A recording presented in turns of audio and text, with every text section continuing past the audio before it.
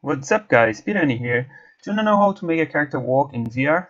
So in this video we will show you easy steps how to make this character walk or maybe if you want to fly, if it's a spaceship, you can make it fly.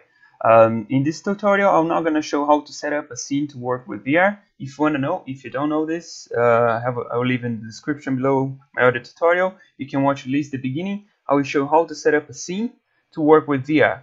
I will explain about the con controllers, how to, to enable the controllers, and how to interact with objects like this you can see in the scene now.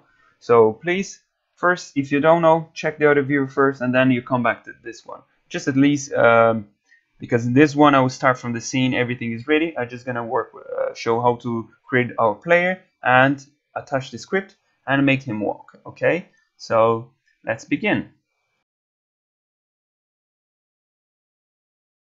Okay, so now we have our scene. This is the scene from the previous tutorial. Uh, and I will show how we can create a player. First, we need to create an empty object. I'll name it player. Okay, make sure the position is zero. And now we get the camera, we have to make sure the position is also zero. Yep, perfect. Now we add the camera, main camera to our player like this. Uh, perfect. So first now we have our character. So we have now to attach the components. Okay.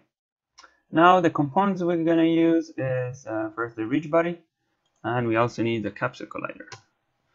So let's zoom in here. We're gonna have we're gonna I would like to adjust. Let's just um 1.75 I have like some values here I like to work with. Uh, uh, 1.5 is okay as well. And here just 1. Point, yeah, perfect. Yeah, see, and just bring this up a little bit. Perfect. So you see how this will be like uh, the body of our character, and this his head. So make sure this is more on top. That's why you have kind of um, I have these values I work with. You can change and test yourself uh, and also, just one more thing here, freeze rotation. Just make sure all of these are enabled here because then our player not gonna like fall and rotate. Uh, you'll see. So perfect. This, this step is done. So now to make our character um, walk, we need to add the script. So let's call oh geez, player walk. Player walk. You can name whatever you want. Um, I will just name it player walk. Now we have our script here. Let's edit.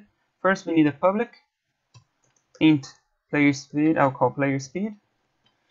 The speed up uh, we want our player to to move. And on a update, we need to get the input from. We're gonna touch the screen, so we're gonna use the Google car Cardboard. So we need to when we touch the screen, we're gonna make our character move. So for this, we're gonna have if input. The get button down. Either just get button. Don't need to be get button down. Um, fire one. This from uh, I can show you later. At the end of this video explain why I'm using fire one. And for this we need to move our player. So for this we can do transform.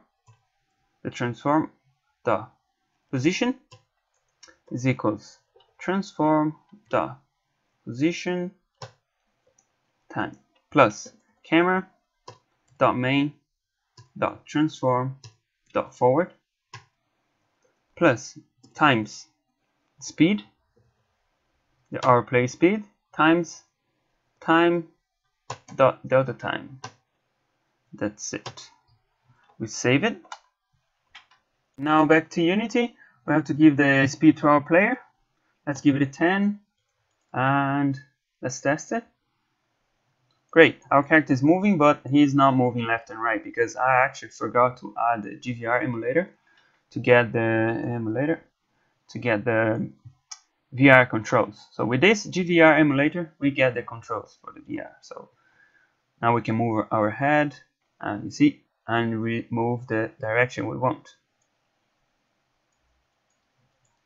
Yep, perfect. You see if we go, yeah, amazing. our character is moving now. And yeah that's it guys. Very simple. He's quite fast now. He's running everywhere. Um, and I will show you something else here in this video. Let's say if you want to make a character move without pressing any button you can also do remove this condition. Just leave uh, transform the position this line of code. I will just show you guys um, let's just do like this. Just let remove this. Save it. And if I go back to Unity and I hit play you see our character is moving without I'm pressing any button okay. Oh let's stop it. He's gonna fall. He's desperate. He's running everywhere. Okay. Great. This is good. Um, there's one more thing I want to show you. Uh, okay so if you want to make a character fly let's say it's a spaceship I just basically remove use gravity. Just that's it. Use gravity. We go hit play. And if I want to make my character fly let's say it's spaceship. Cool. Now I have a spaceship. My character is flying everywhere. I'm applying the force. Very simple.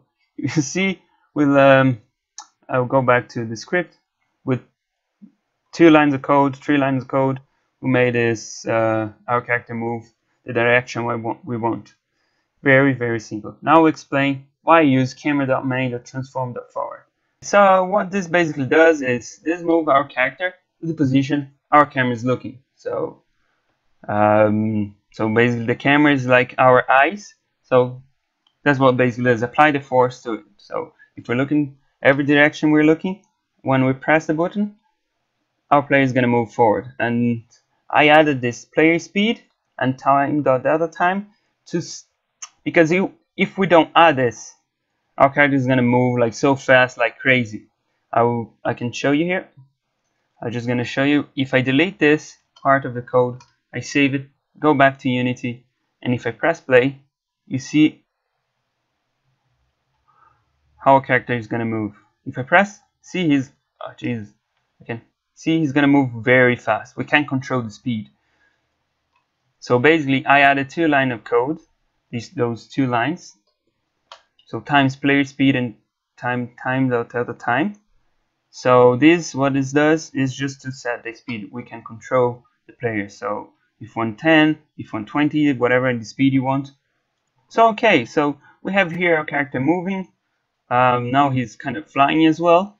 Um, but if you see he's not able to interact with the cube anymore from the previous tutorial okay let's just um, add the components so here for here if you guys remember, we need to add the GVR physics raycaster. Yep, to our main camera. And for here, we need to um, point, uh, let me see, the GVR reticle pointer. Alright, don't bother by this error. The moment, uh, just remove it, clear. And now we'll be able to interact again. Actually not, I forgot one more thing the GVR event system. Event system, GVR event system. This is going to make us be able to interact with the objects. So great. So see, now we can interact and change the rotation of the cube. So if we go up and we look to the cube, see? Okay guys, that's it for this video. If you enjoyed, please leave a like and subscribe.